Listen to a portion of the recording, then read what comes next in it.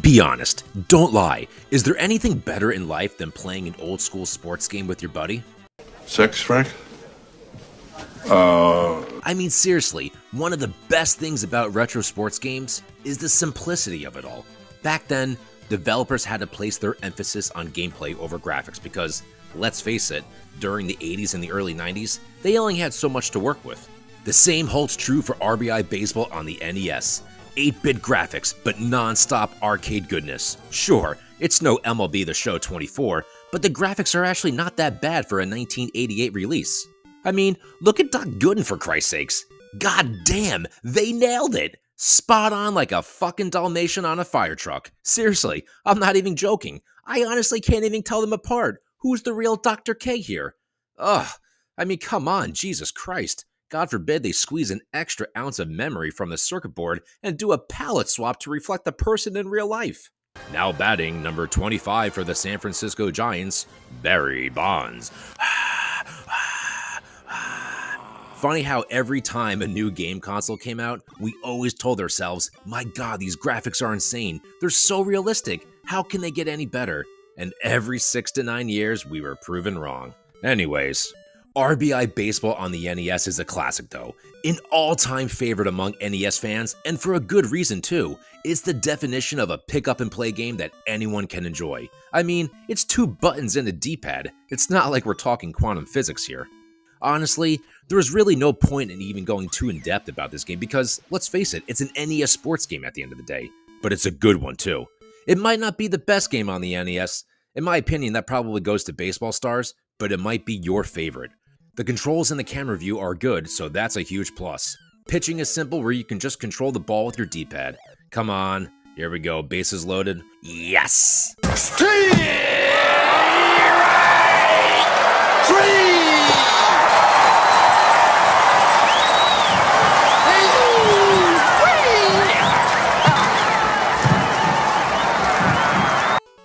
Fielding is not that bad, and thank God they did the classic you can throw the ball to the base based on the position of the diamond on the D pad. Up is second base, down is home, left is third, right is first. It's as simple as they come.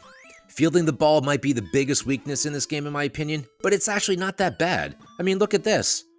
Ooh, alright, I got this, I got this. Come on, get it. Ah, shit. Come on. Oh, come on, man, what the hell? Hi, I'm looking for Molly, because you keep fucking rolling, will you stop? Batting is simple too, but that's the fun of the game. You gotta rely on your NES reflexes. Come on, you tubby bitch. Throw me a meatball. There it is. It's out of here. Pasta la vista, baby. I actually looked it up, and RBI Baseball was the first console game licensed by the Major League Baseball Players Association, and to use the actual players' names. I actually didn't know that. That's a pretty cool trivia question if you think about it. Hey, if you ever make it to Jeopardy, maybe they'll ask that question. I can just picture it now. Uh, let's see here. Uh, oh, okay. Uh, I'll take I've never had sex before for 2000, Alex.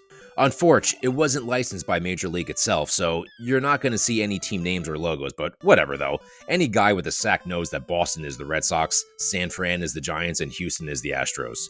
Now, the game only has eight teams in which the MLB counterparts were the first place teams in each division in 1986 the Boston Red Sox, California Angels, Houston Astros, and the New York Mets, as well as the 1987 season, the Detroit Tigers, Minnesota Twins, St. Louis Cardinals, blah, blah, blah, San Francisco Giants, you get it.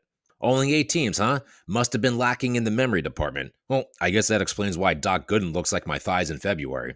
But as a Mets fan, I love the fact that my 1986 Mets are in this game. The last time they won a championship as of the making of this video. God damn, the Mets suck. The game actually has two All Star teams, which has veterans such as George Brett and Mike Schmidt. Pretty cool. And they also have new rookies like Mark McGwire and Jose Canseco. A Jose Canseco bat!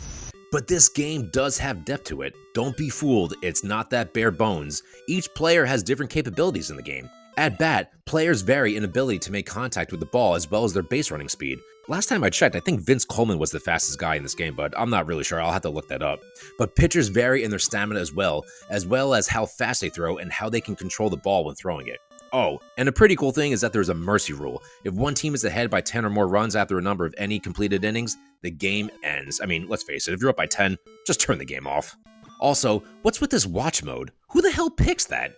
You're like that creepy weirdo guy that you had as a college roommate who would never leave the room when you brought your girl over. It's like, uh, dude, can you get the hell out of here?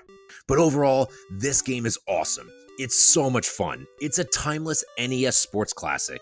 This is actually a lot of people's favorite baseball game on the NES, and in general too, and honestly, I don't blame them. It's up there for me too. Sure, the graphics aren't the best, but it has it where it counts. It's fun as hell to play, and it's easy to play. The computer is actually a decent challenge, and it's even better playing with a buddy. On eBay, this game sells for like 7 bucks. It's peanuts, so it's a no-brainer to pick up if you have an NES. Or hell, emulate it for all I care. Regardless, this game has a strong cult following, and if you've never played it before, you need to join in and see what it's all about.